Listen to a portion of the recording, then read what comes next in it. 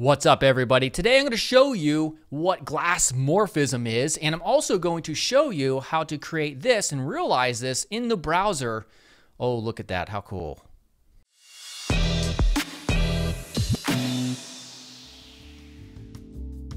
Yes, I am in the new house, in a new studio. Of course, the walls are blank right now because I haven't had time to do anything with them.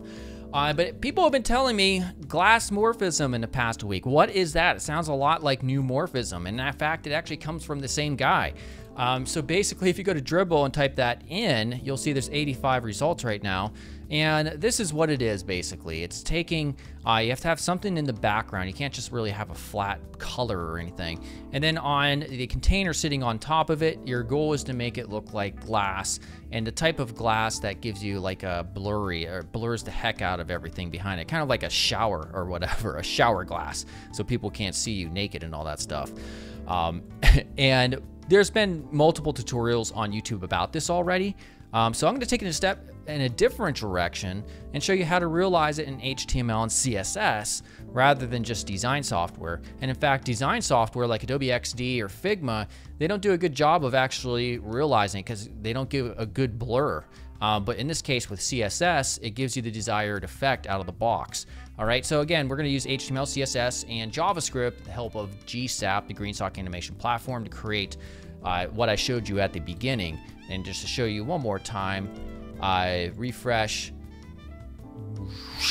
It's very cool. Like, uh, notice there's no blur, but we animate the blur along with the X position, and it kind of creates like this uh, motion blur effect. Very cool. As always, make sure to subscribe if you haven't yet, and let's get started. But before we begin, if you really want to know how to apply these really cool UI effects like glassmorphism and neumorphism, you really have to understand UI design fundamentals first, which is where my UI design bootcamp at scrimba.com comes in. At Scrimba, you don't just watch videos. No, no, no. You're actually able to modify code in the browser while you learn. My course on UI design features over 100 lessons that are specifically tailored to help you become an awesome UI designer, and they're packed with interactive challenges. So click the very first link here in the YouTube description to access my course along with many others for a very low monthly fee. All right, so here we have a document. Um, we're in Visual Studio Code, Clode. Did I say Clode? Oh, this is already starting out horrible in the new house.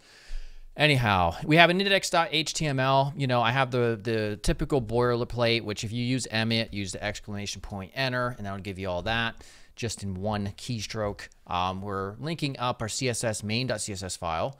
Um, that's in a folder, CSS, and then main.sass. Just makes life a tad bit easier using Sass. And then we're going to click Watch Sass, but you need the live Sass uh, compiler right here.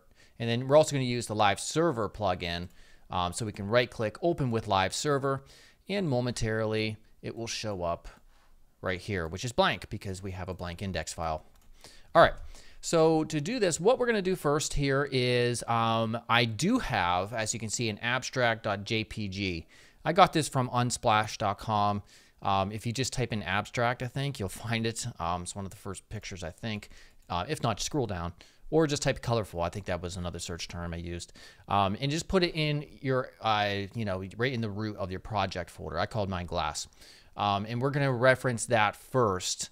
Um, and that's kind of going to be the background um, that will help us facilitate this effect. So image source equals abstract.jpg. Alt is just going to be abstract background. All right, so we save it and then we get uh, that big mess. All right. Um, next up after that, of course, we're going to fix that. Um, we're going to have a class just temporarily as um, circle. Um, and I kind of forgot, you know, I, I want to um, comment this one out first. So I, I'm going to go ahead and hit my, I, I haven't done a comment in like forever. There we go. We're going to leave it like this because it's going to be easier to demonstrate this with a, a straight out circle first. You'll see what I mean. Um, so we're going to do a container with an ID of glass. Now, if, again, if you're confused about what that was, that's Emmet abbreviations. I have an Emmet tutorial. Just do a channel search on that. Um, I'm giving this an ID as well because we'll reference it in JavaScript. Um, and then also we're going to have an H2, and that's going to be a class of seq, SEQ for sequence. Um, and that'll be a sequence animation. And it's just easier to do that uh, if you want to do like a sequence-based animation, just give them the same class. I should have used my Emmet abbreviations there. There we go. And then for here, I, I'm going to copy and paste this off my reference code. Yes, people, I use reference code along with everybody else because the tutorial would just be slow and choppy if you're trying to do this live without having the project done first. I know some people get mad about that, but they suck. All right, graph morphism realized. All right. So that's all of our HTML right there. So now if we look at what we have going on, we got this. All right. It's very ugly. All right. So let's go over here and in our main.sass, I'm just going to paste in just some the, the, body. I mean, it's so simple. We have our background. Um, it's just a very light blue, as you can see here. We got black for the font colors, Poppins, my new favorite font, margin zero, and padding. That's how I'm defining the container. I'm kind of lazy. This is not responsive. Um, and what we're going to do is get that circle going. So the circle, we're just going to position absolute this thing. And we're going to top 200 pixels, left 200 pixels. We're going to left, wait, no, we're going to width 400 pixels and height 400 pixels. We'll also background this thing, RGB, we're gonna do um, 160, 59, and 255.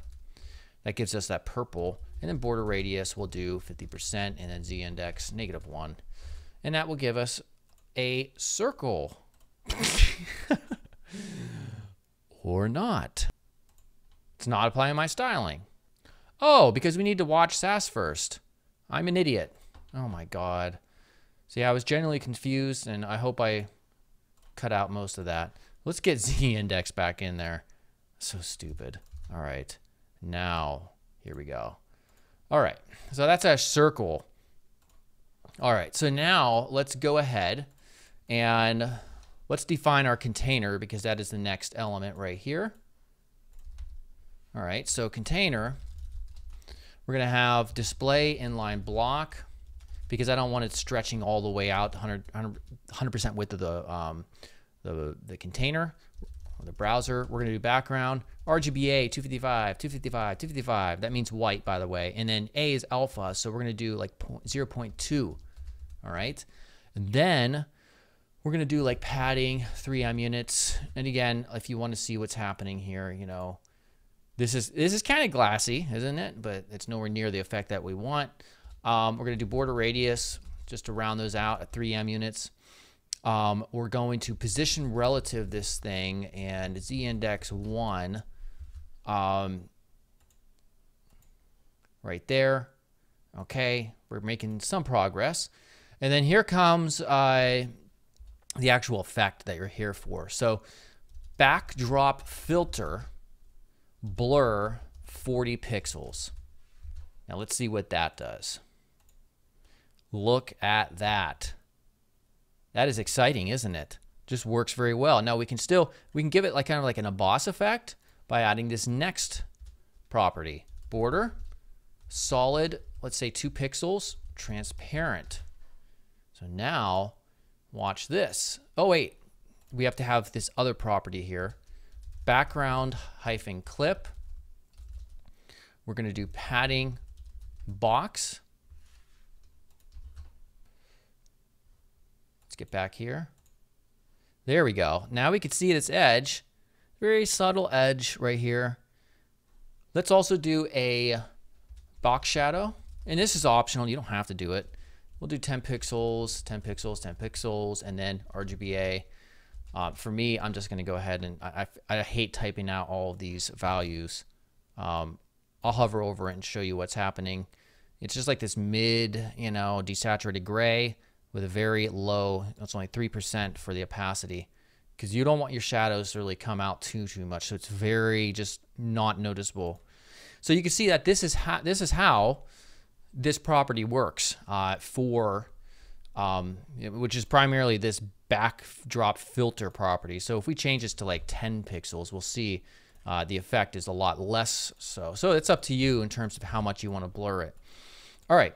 Um, so next, let's go ahead now and let's get rid of our circle. And now if we apply this, you're going to see um, we have to uncomment the image.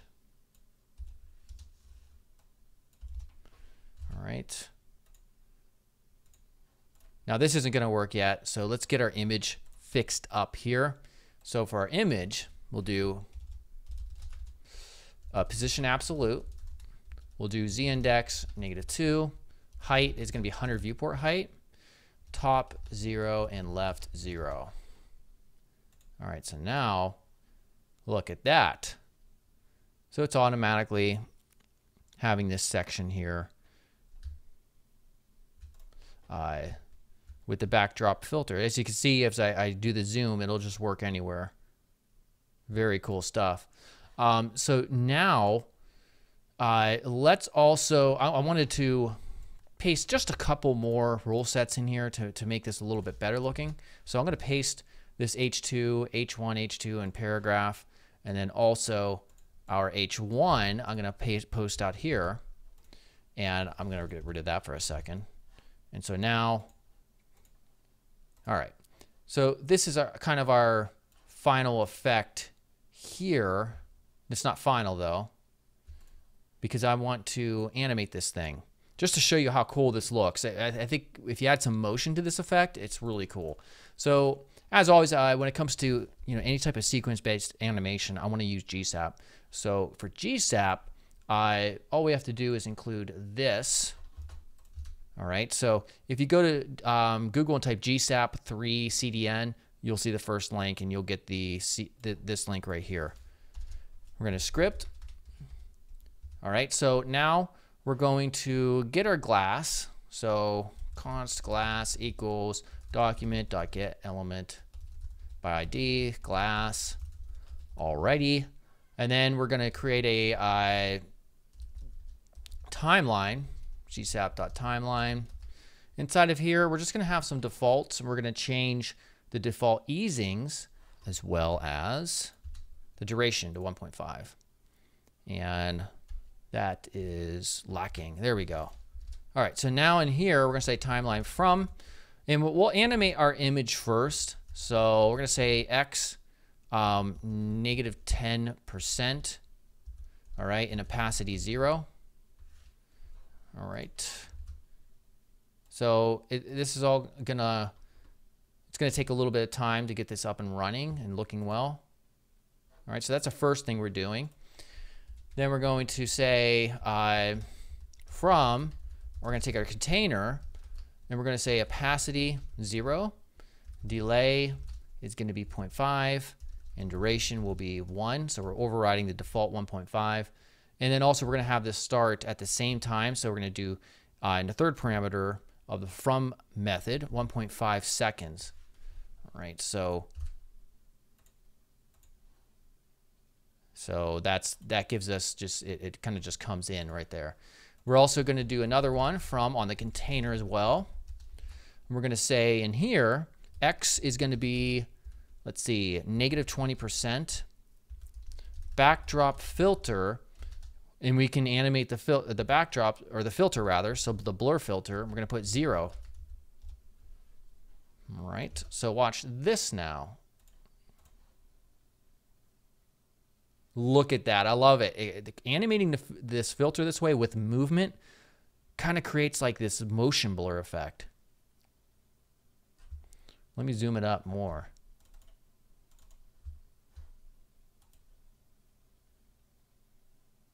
Nice. Let's keep on just because this is so fun. Um, next up, we're going to do from. Let's do our sequence animation. So our sequence class, which we added to two of the type elements. So we'll do negative 30 for the y-axis, axis rather, not access. Zero on opacity, stagger, 0.2 between each of uh, those animations, and then 0.5 for the duration. And then this will be start. This will start uh, a half second sooner than it would. Okay, that's not too bad. All right, so let's continue on. I think we're going to do one final. So our from, we're going to say H1. Y is going to be 20. Clip path here is going to be inset. Um, we're going to do zero, zero. Animated, the clip path is very fun. Zero. And on our third argument or parameter, it's going to be negative 0.8. So for this to work, we have to go back to our H1 and set the clip path to hide it by default. So we do this. Now, if you're curious about like where I'm getting these values from, I, I mentioned this in previous tutorials. I'll show you in a second. All right, let's, uh, there we go.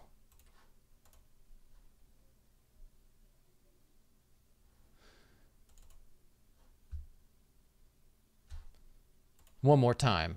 I'm going to show you the tool I use. Sweet.